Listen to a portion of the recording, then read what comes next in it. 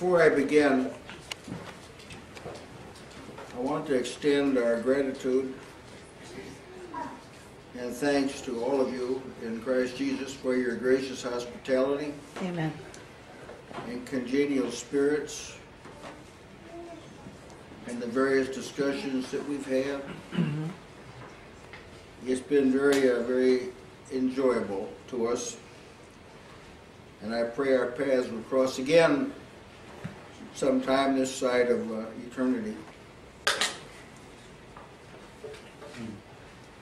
This morning, I'd like to minister on the benefits of having spiritual peace. First, let me take a few minutes and define what I mean by benefits. Benefits are not options or alternatives. In the kingdom of God, they're not supplementals or additions that you can take or leave. In Christ, benefits are mandatory. Jesus didn't die so you'd have a chance to pick and choose. Mm-hmm. Now let me explain why it's this way. I'll depict the uh, life of faith in a linear manner. Let's say this right here. This like this is your life in Christ. This is this beginning when you're born again or when you're baptized into Christ. Now, what happens when you're baptized into Christ or you're born again is God Himself puts you into Christ. Now, this is stated in 1 Corinthians 1.30, so it's not like an interpretation. God puts you in Christ. Colossians refers to it as the operation of God. We were baptized, we had faith, he said, in the operation of God. It happened when you were baptized. But it's what happened behind the scenes that puts you into Christ. Now the question is, remember this is your entire life in Christ. The Question is, where did he put where did he put you? Did he put you here in the middle of Christ? If I were, and I hope you uh, don't object to the phrase, but if you do, I don't care. Or if you were of a Baptistic theology, is it that he put you here? In a state of perfection and can't be reversed. Where did God put you? He put you here. Just like Israel, when they got to the promised land, they were right, they got in the promised land right at the border. Jericho. That's where you were put in Christ, right up here at the beginning. Now the objective is to get from here to here before you leave the world. Benefits are what enable you to get from here to here. A valid, I'll condescend and call it church service. I don't particularly like it, but I'll just, a valid church service is helping you get from here to here. Because if you don't get from here to here, it doesn't make any difference whether or not you got in here.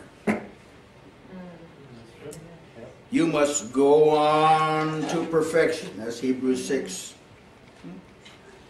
Perfection means maturity. You got to grow up into Christ in all things. That's Ephesians 4:15. Now when I'm talking about benefits, I'm talking about things that come from God that enable you to make this pilgrimage successfully. And blessed is he that arrives safely at the grave.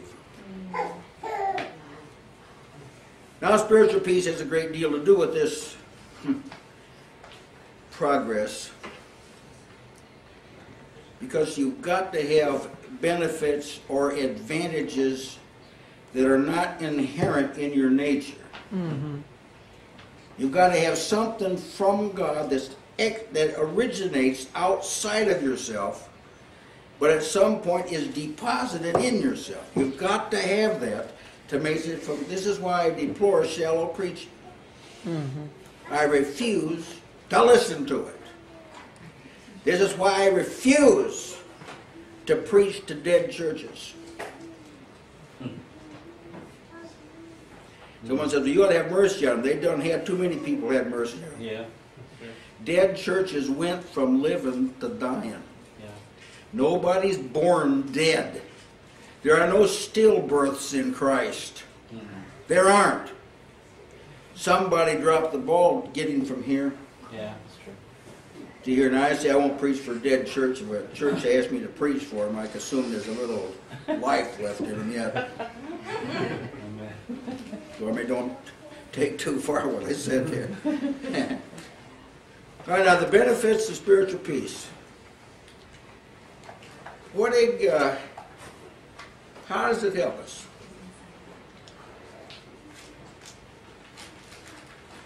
Paul said, Philippians 4 6, be careful, don't fret, don't be filled with care, or the modern psychological word is anxiety. That's not in the Bible. Cast down, that's the Bible word. Something external to the person, threw him down to the ground. Be careful for how much? Nothing. He doesn't say, now be careful except if it's your family. Then really have a lot of care. Really stay awake at night thinking about that. Be careful for nothing. No, I mean you're going to lose your job. You're, you're not going to be able to make a living. And I'm going to, I got to worry about it. See here, I'll worry if I want to worry. Be careful for nothing. But in, not because of, but in everything, make your request known unto God with, with, with thanksgiving. But that's the prelude to the verse that we're going to say. Be careful for nothing, but in in in the middle of the cauldron, in the middle of the whirlpool, in the middle of the vortex, it's sucking you down to the bottom. In the middle of it, tell God what you want, and thank Him. You know, Jonah the fish come up when he said, "Salvation's of the Lord." Yeah. Fish headed to the top and spit him out. It was Thanksgiving. And the peace of God, that's pres- presuming you did this. If you didn't did that, if you didn't do that, then I can't give you this other verse. You got to do that first. If you've done that, then the peace of God, which passes all understanding, you cannot give a rational explanation for peace. It'll fall short. Can't do it. You can't find an explanation in a dictionary or a lexicon. It not. It surpasses understanding. See, humanity. You take God out of the picture now, and humanity cannot have an idea or an imagination beyond the circumference of human experience. It's impossible. They can't think outside. In any way, not a dream, not an imagination. It's always a corruption of something that's in the circumference. The peace of God cannot be understood within the framework of human experience. You've got to at some point get outside of that into God's domain, where God's the primary worker, and where Jesus is reigning, where the Holy Spirit is functioning. Get to get outside that, then you'll you'll be able to have some kind of realization of peace. The peace of God, that passes all understanding, will keep, will keep stable, will keep in a state of solidity, will keep sane, if you want to use that word, will keep hopeful, will keep you from despair. It'll keep your heart, wherever heart and mind are mentioned in Scripture, heart's always first. It's never, never, never mind then heart. It's heart then mind. And the mind functions according to what's in the heart. Mm-hmm. You got a new heart, your mind just clicking away. Thinking right. You got a bad heart, you got garbage coming out of your mind. That's just the way it is. Amen. It'll keep your heart. That's your real fundamental person. Psychology talks about psyche. There's no such thing. That's cooked up. That's a human explanation that views man basically as a physiological character. The heart the heart is the scriptural word that they try and understand with the word psyche. It's the real you, it's what makes you click, it's what makes you, it's what feeds the rest of your person. It's where your preferences, your loves, your hates, that's where it is. But your heart's got to be stable. You can't have a heart that flip flops or goes up and down or you change your mind a lot. Can't have a heart like that. You'll keep your heart. Keeping your heart means you can hear when God talks. Because when God talks to you personally, He whispers. When God talks to the multitudes, He shouts like from heaven, but they thought it thundered. they didn't know it was God. And when your heart's stable, you can pick up on how God's directing you. You may not be able to explain that to someone else unless they've had the experience too. Then they'll know what you're, what you're talking about. But it's the peace of God that stabilizes your hearts. You become dependable from God's viewpoint. You become mature from God's point. You're, you're not easily confused, not if your heart's stable. It'll keep your heart and your mind. Now, same people's minds like a yo-yo. You don't know from day to day how these people are going to think. By the time you think they're thinking good, they talk like an idiot. You've seen it, haven't you? I'm talking about, uh, you know what I'm talking about, don't you? Their mind is unstable. That doesn't mean that they they don't have rationality like some people don't have a full rationality, but it's not their not their fault. It's not a willing condition. But some people are just tossed around like a ball. Scripture would say tossed to and fro, every wind of doctrine. They turn on the TV and said, "Oh, well, that was really good," when it? When it might have been terrible. But it sounded good because the guy said, "You you can be rich." But like the man said, I tell you what I do. I love God so much. I'm going to give him a tithe of the lottery that I won. Do they really think God wants that? Their mind is not stable from a, from a spiritual point of view. Again, I'm very careful to say I'm not talking about people that are a little slow. I'm not talking about that. Your mind's got to be in good shape. If you if you have a continual intersection with the world, like on your job or maybe your neighbor or whatever, your mind's got to be stable. Because Satan's working out there trying to get a false idea in your mind. It's like a flaming arrow. Now, you know what a flaming arrow is. It just says that shield of faith wherewith you're able to quench all the fiery darts of the wicked one. Fiery darts are thoughts. That's what they are throw them in you. You've got to have a sound mind to be able to detect, is this really my thought? It's in my mind. Is it really my thought? Or did Satan throw that in there? Or is it a temptation? And I'm telling you, there's a lot of people They don't know the difference between temptation and fiery dart. They can't tell the difference. So if a thought pops in their minds, a terrible thought, and well, we, we people, we can have some really, we never tell you what thoughts we've had. Mm-hmm. But some of them weren't ours. They were thrown at us. That's what a fiery dart is, a temptation. The grace of God will teach you to say, I reject that. Or if you're on the ball, you'll have your shield of faith and it'll stop it from coming in. if you're strong in faith, you have less of these thoughts, Yeah. temptations. If you're weak in the faith, you'll have like you see the old movies where the warriors that shoot arrows and a, a whole battery of arrows fly through the air.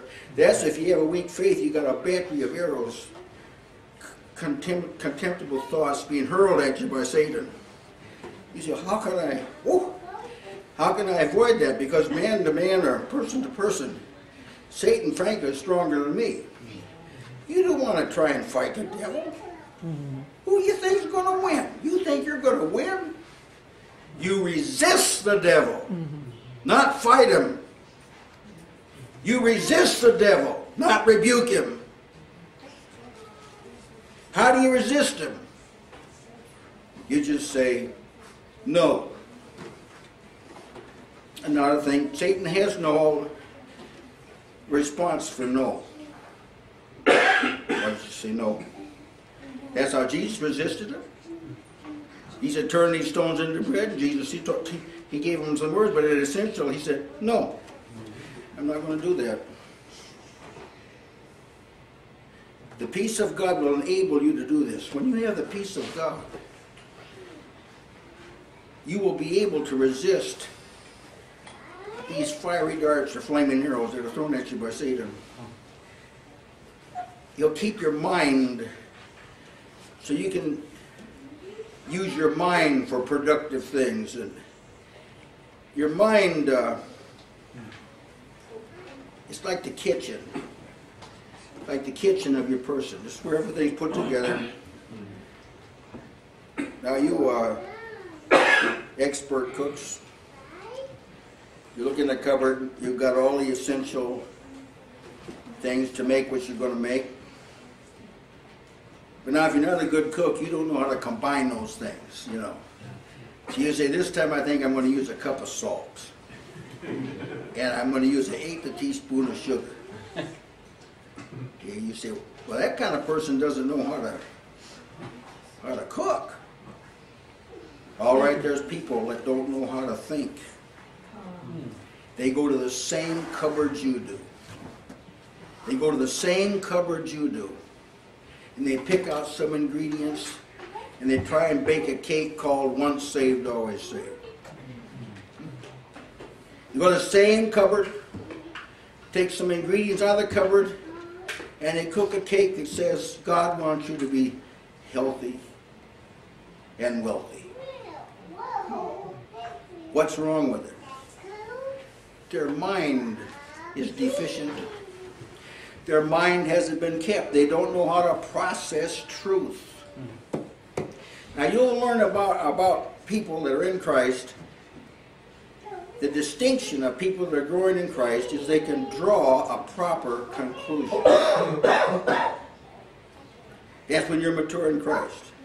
People that aren't mature in Christ, they can't draw a proper conclusion. They can't they can't add up the things of God and come up to a right answer.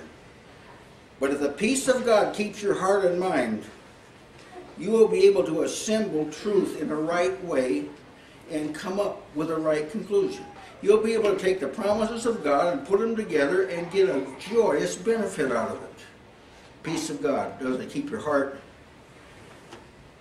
and your mind.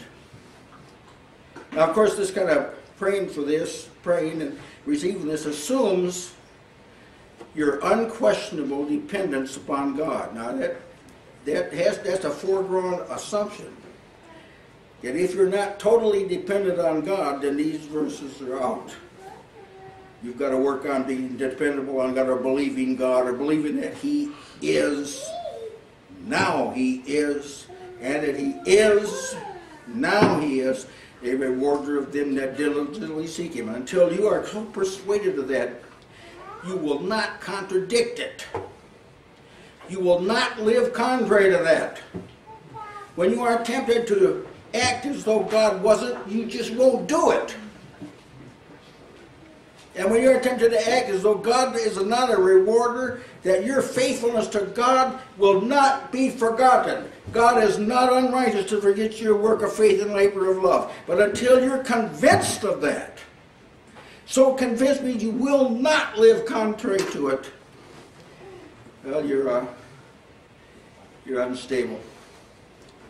Job, Paul posed a question that, remember, there was no Bible in Job's day.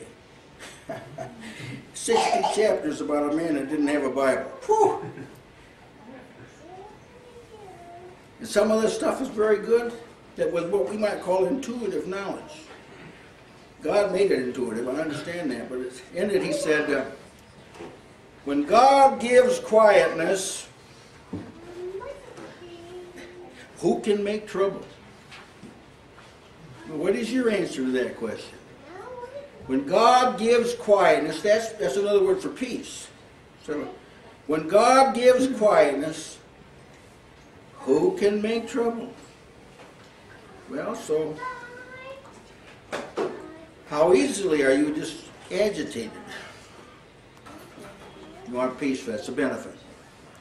And that's one benefit. It will keep your heart, keep it solid, keep it so God can so Jesus can dwell in your heart by faith. You probably heard people say you've asked Jesus into your heart. That's nowhere in Scripture. No one ever said that in Scripture. Jesus comes into your heart. You don't, you don't ask him into your heart.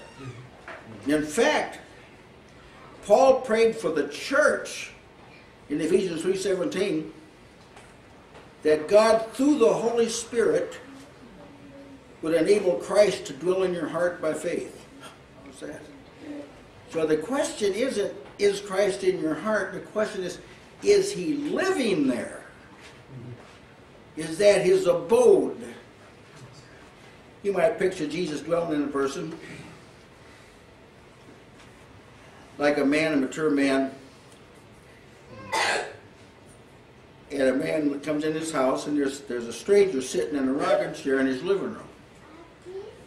He says, like, who are you? well, he says, I'm, I'm Jesus Christ. What are you doing here? Well, he says, you've been so busy. I've been in the back room back here in a closet. I couldn't really do anything here, and I'm, I'm about ready to move out of here unless you really want me to do something. Don't you know there's people like this? They think they can get Jesus out of the closet, you know for an emergency. This isn't the way it works, brethren. Jesus got to live in your heart. And picture your heart as a house that has a lot of rooms. Our house has 24 rooms. And we don't have a maid either. 24 rooms. All right, now picture your heart as having 24 rooms. Jesus has got to have unhindered and unlimited access to all those rooms. To dwell in your heart. He's got to dwell in the TV room. game room. He's got to dwell. All right, now the heart, the peace of God, when He dwells in your heart, will rule your heart. This is uh, Colossians three fifteen. Now there's a prelude to that to that verse. I want to actually read read this. Colossians uh, 3.12. Colossians 3.15, what I've just referred to, says, Let, let, let the peace of God dwell in your heart, to the which also ye are called, and be ye thankful let in other words the, the peace wants to live there but it has to have your consent so to speak to live there. Now, the preceding verses to that that lead up to this says, Put on therefore as the elect of God, holy and beloved, bowels of mercy. See, what does that mean? Hmm. Your spiritual makeup has bowels like your body does. They're spiritual bowels. They're where the stuff you know is processed, where the nourishment is administered out of it. It has bowels. Are missing quite often. The bowels of Christ, bowels of mercy. Mm-hmm. It makes it's a spiritual. It's a critical part of your spiritual makeup. As the elect of God, put on bowels of mercies, humble kindness, humbleness of mind, meekness, long suffering, forbearing one another in love. And if any man has a quarrel against any, anyone ever quarrel against somebody? Even as Christ forgave you, ye also do ye. And above all things, put on charity, which is the bond of perfectness. Let the peace of God dwell in your heart. Now that's the benefit. If you want to get from here to there, you got to let the peace of God take up residence in your heart, just like you do with Christ. You've got, it's got to take up take up residence, and you've got to allow it. The peace of God will rule your heart. It'll administrate your heart. Your heart has like a throne. Who's on the throne? For some people, it's them. They're on the throne. Their self-will's on the throne. For some other people, it's some other individual that is dictating how they live. But if you let it, the peace of God will rule your heart, and He'll administer things you can't administer. He will correct things you can't correct. You've got to have that benefit to get from here to here. You've got to have it. You've got to have outside intervention. And the peace of God is part of it. Now here's another, the peace of God. We're talking about benefits of the peace of God. This is from Isaiah, Isaiah 26, 3. Thou, God, will keep him in perfect peace. Oh, perfect peace. Thou wilt keep him in perfect peace, whose mind is stayed on thee, fixed, focused, set. Yeah, these big telescopes, you know, you, we used to have them for, for some of the children. Put them up in the heavens. You want to examine a certain part of the sky, you had to tighten everything down and fix that, fix that telescope so it was settled on that area. Perfect peace is like that. It tweaks everything in your soul, tweaks it so you're focused right on. Thou wilt keep him in perfect peace whose mind is stayed, fixed, focused. Storms going on over here, I'm fixed. Trouble over here, I'm fixed. Oh, huh? God says, I'll keep him in perfect. I'll do it. Not you. I'll. You've got to believe this now. You've got to believe God will do this. Fixed. That's the same thing as saying, set your affection on things above and not on things on the earth. Seek the things that are above where Christ dwells at the right hand of God, not the things on earth. That's Colossians 1 and 3, 1 and 2. That's saying the same thing. You've got to live and run the race with your eye fixed on Jesus. You say, well, what about the stuff going on over here? You are given like miraculous peripheral vision. If your mind is down here, normal peripheral vision, you can kind of see something going on over, over here. But when you've got this perfect peace, you have perfect peripheral vision. You can be focused here and still know what's going on over here. It's like a fisheye camera lens. Fisheye camera lens, I could stand right here, capture everybody in the audience, and I'm walls over there in one, one, but I'm, I'm looking at the clock back there. Thou keep him in perfect peace whose mind is stayed on thee. These are all things that are doable. I'm not talking about hypothetical situations or something that could be, or try your best to get to this place. This stuff really happens. But it all centers, see, in Christ and your access to Christ, and that you're in the sort of person that you have a right to access Christ because you're in Him and you're listening to Him. Perfect peace. I will keep him in perfect peace whose mind is stayed on thee. You're thinking on the right things. Whatsoever things are pure, whatsoever things are just, whatsoever things are lovely, so forth, so forth. Think on these things. Philippians 4 8. That's uh, perfect peace. That's what it results in. You think about right things. You're not a- like a daydreamer. I know that people say these days, God wants you to fulfill your dreams. God wants your dreams to be dashed to the ground. He wants you to adopt His agenda. He wants you to adopt what He's doing. Forget what you want to do. And he, because He will seek your best interest. You, if you trust in God, you will get the very best. You can't. He'll do what you can't do, and He'll help you to see it. Isaiah 30, 15 says, In quietness, that's his peace, perfect peace. In quietness and confidence shall be your strength. I can remember uh, I was younger in high school, there was a boy. I don't know if I heard his voice till you're about junior year. No one heard him say anything. He's kind of a pipsqueak of a guy. No one ever heard of him, but somebody agitated this boy one day. We all saw it. He was considered to be larger than this boy. Man, he was like a lion. He gobbled that guy up. what was that? He, uh, quietness and confidence. He didn't care how big the person was. Perfect peace will do that. Perfect peace will take a man like Moses and he'll march right up to Pharaoh and say, Let my people go. Quietness and confidence did that. Quietness and confidence We'll take David and he'll march out to Goliath and say, This day I'm going to be the end of you and feed your flesh to the birds.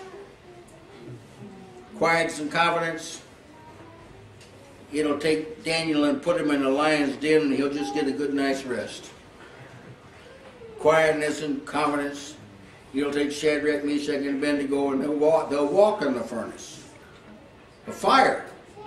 And the only thing that burned up was their bonds. Yes, that's right. Your trials will do that if you let it. Your trials will burn up your handicaps. I'm, I've got to move on here. Psalm 119, 165 says, Great peace have they that love thy law, and nothing. Let me check and make sure that it's right. Yeah. It's in the Hebrew too. Nothing shall offend them. Great peace have they that love thy law, and nothing shall offend them. Now, in the scripture, offend doesn't mean like, you hurt my feelings. Well, boo hoo. You can't come before God and say, they hurt my feelings. I suppose God is saying, you hurt mine, you know. Stumble in scripture, me, uh, uh, Offend, pardon? offend. Nothing shall offend you, thank you. Nothing shall offend them. Offense in Scripture means stumble. Stumble as there's a hole there I didn't see and I fell down. Nothing shall cause them to get tripped up. Nothing will cause them to make like a big blunder. Oh man, I shouldn't have done that. I mean, I know I'm probably the only person that's had situations like that where I thought, oh, I took the wrong detour there. See, how, what happened, what actually happens in situations like that, my own interests trumped the interests of God. That's actually what happened. Thank God for someone when I was younger that alerted me to that so I could diagnose it. Perfect peace have they that love thy law, and nothing.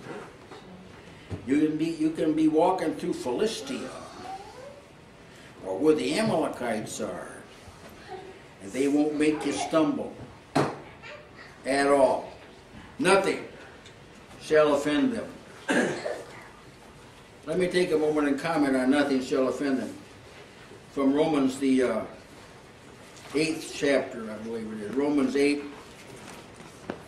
beginning at verse 35. This is right after, you know, all things work together for good and that love God and so forth. Who shall separate us from the love of Christ? That's a good question, isn't it? Hmm. Shall tribulation or distress or persecution or famine or nakedness or peril or sword? It is, it is written, For thy sake we're killed all the day long. We're account. Oh, is that really in the Bible? Oh, shit, that, that's, a, that's a match up with the TV preachers. Yeah, that, that, that is what it says. For thy sake we're killed all the day long. We are counted as sheep for the slaughter. Nay, in all these things, we are more than conquerors through him that loved us. For I am persuaded, at perfect peace, see that this is perfect peace. I am persuaded that neither death nor life nor angels, nor principalities, nor powers, nor things present, nor things to come, nor height, nor depth, nor any other creature shall be able, shall be, they won't be able to separate us from the love of God which is in Christ Jesus. I know certain theologians get over that and say, there you are. You can't fall away. Well, I don't want to hammer on this because someone, I used to hear people say, what does your church believe? They say, we believe you can fall away. I said, well, is there anything else you got there? I mean, that doesn't sound too appealing. Oh yeah, church I come from, that's what we did. We believe you can fall away.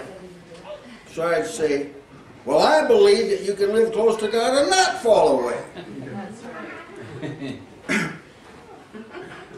What this means is no influence external to yourself mm-hmm. Yeah, that's what it means.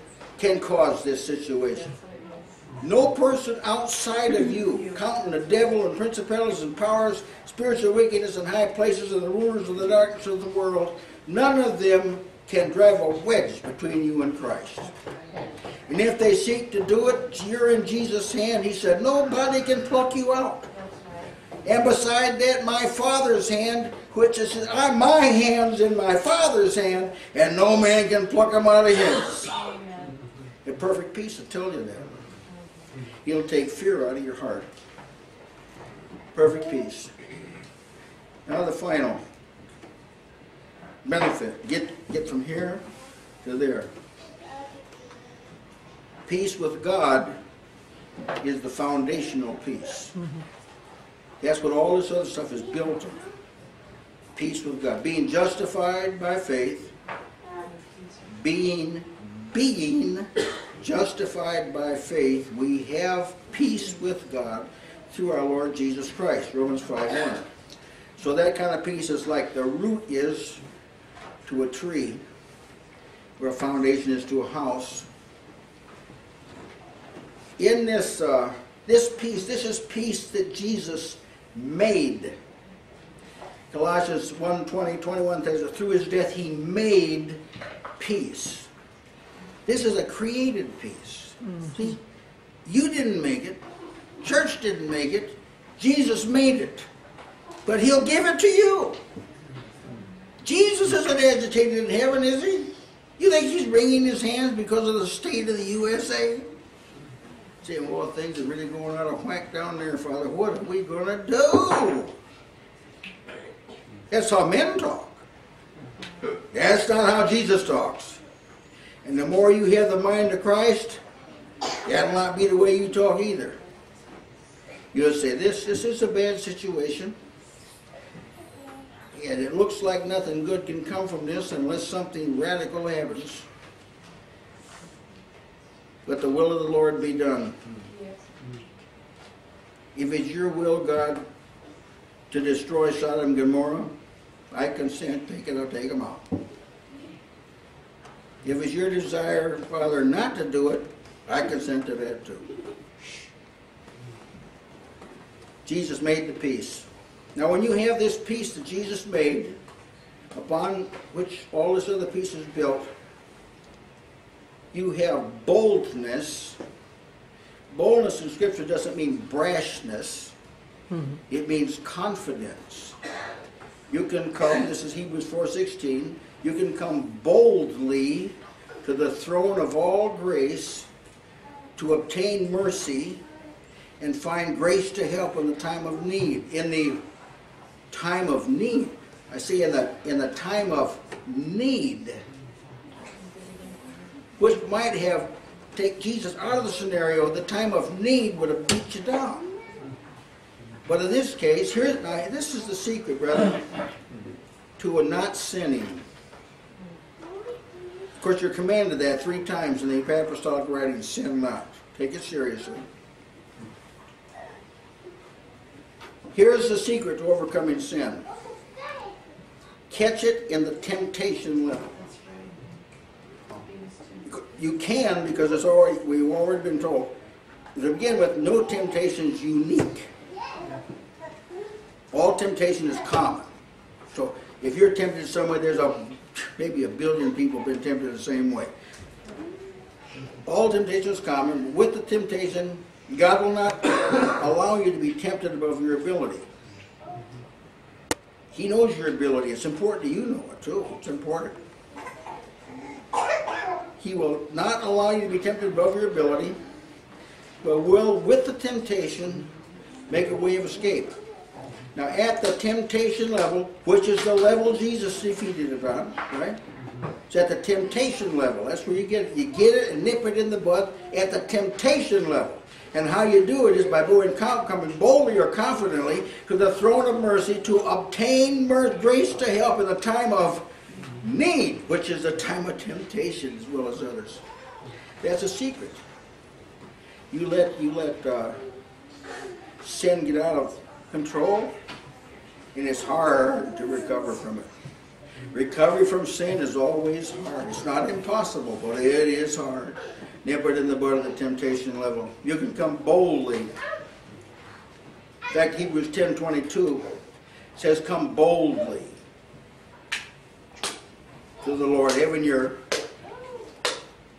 a true heart and the conscience purged and your body's washed with pure water.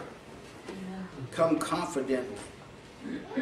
Now, the longer you wait, the less confident you'll be. Tell you the truth, but I'm telling you the truth here. The longer you tarry, the harder it'll be to come. And the more you'll have to overcome, and the more apt you are to be overcome by sin. But if you have peace with God, it enables you to come at the proper time, early on, before the thing, before the fire's burning, before that fiery dart set anything on fire. It'll enable you to quench it with the shield of faith. Perfect peace does that. In other words, you should know you have eternal life. Did I ask you, do you know, not, not I think I do, do you know you have eternal life? John, uh, he wrote his first letter, in chapter 5, verse 13, he says, These things I write unto you, that you might know you have eternal life. So I'm asking you, do you know you have eternal life? If you do, you got the peace we're talking about. And normally when we have uh, invitations, people think, uh, limit their thinking to people that need to be come to Christ, and we that should be done. I'm, I'm not I'm not in any way suggesting you don't do that. But I think this is an invitation that should be offered. In the older days, they used to do this. They don't do much anymore. So I'm going to ask you a question. If you got the wrong answer, I'm going to ask you to respond to this invitation. Was there ever a time in your life, ever, ever, when you were stronger than you are now, closer to God than you are now, believed in the Lord more than you do now? Was there ever such a time as that? If there was, you have backslidden.